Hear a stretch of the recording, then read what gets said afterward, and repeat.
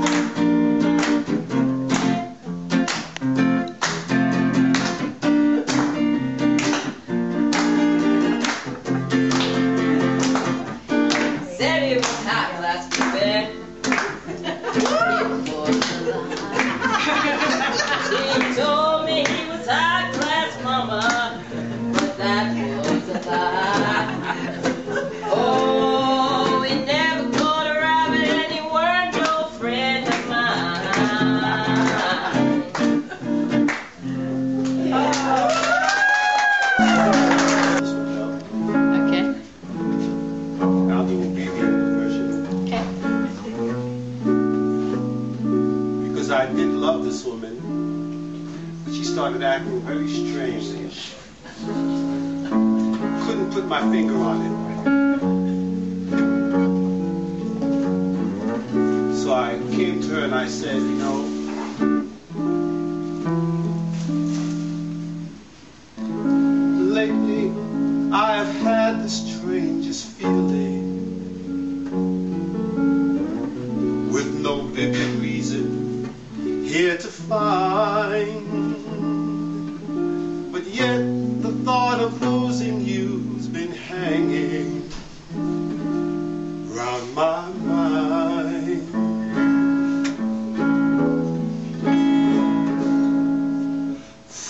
more frequently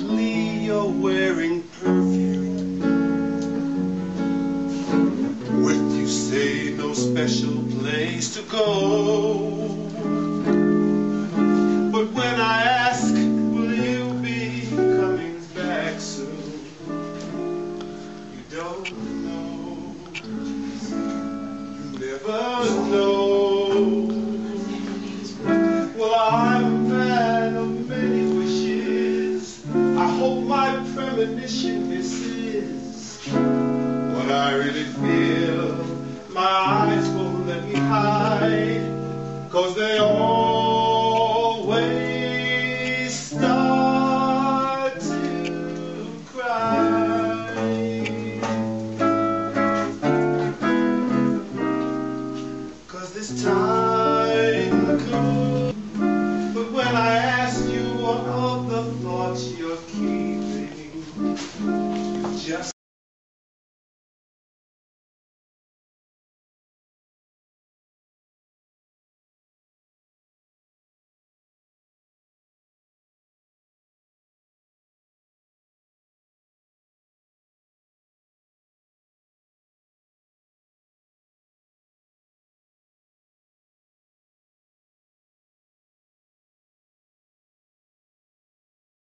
and we were part of uh, a July 4th event here in Sedona. Here in the committee.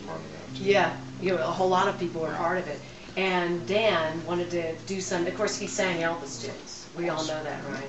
And that was perfect, by the way, because that was like, no, the Dan sang.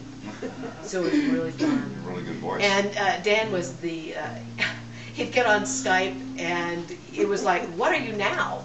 You know, like, you know, yeah.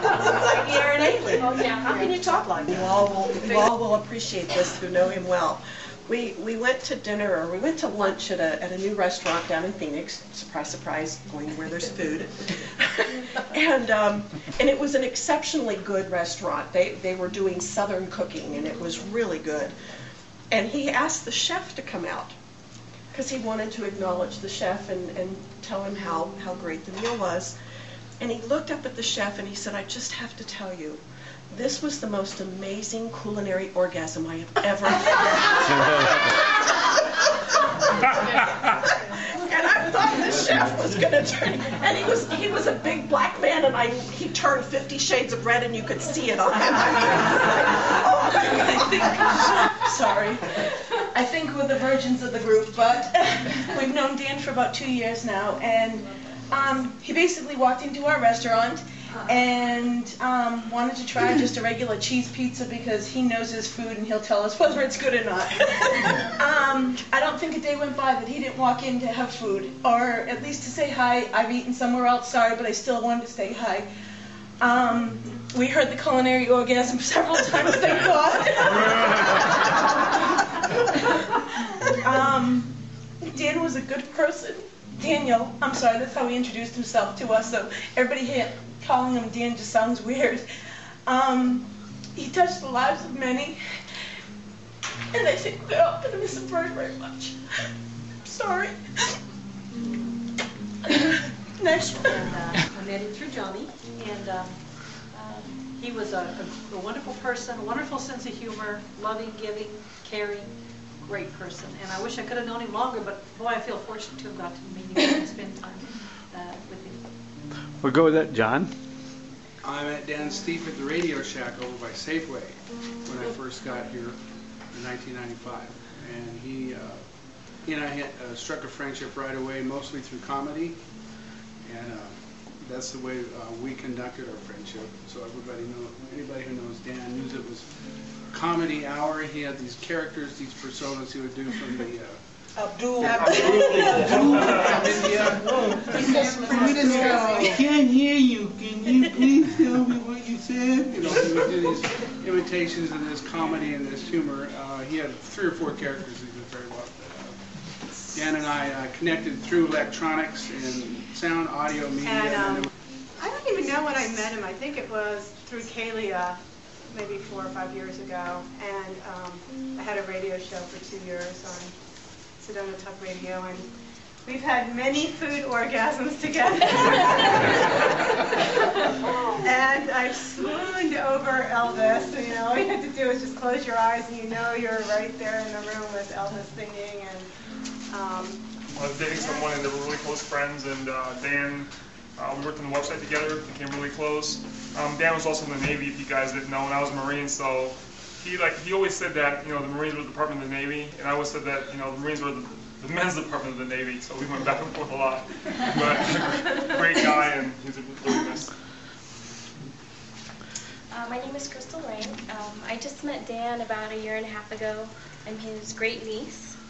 Um, we didn't, yeah, have a lot of time to get to know each other, but I was definitely awestruck by his personality and his talent. Was amazing. Um, he actually came down to see my graduation in November, Wow. so it hasn't been that long, but it was really good to meet him.